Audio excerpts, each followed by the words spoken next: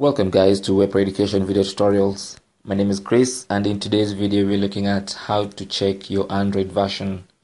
If you have an Android if you have an Android device and you're wondering what version of Android do you have, uh, you can check it up simply by going to your menu, then select settings.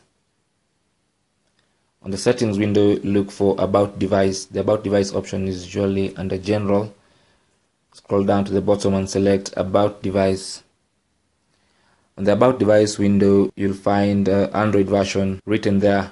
Now you won't find the Android version name, you can only find the Android version number. For example, in this Android device, I'm using Android version 4.4.2. So you can look that up on Google or any other search engine and find the name of that Android version. Mine is Android uh, KitKat, which is 4.4.2. So that's how you can find the Android version number on your Android device. Thank you for watching. If you have any question or comment, leave it in the comments box below the video. And don't forget to subscribe.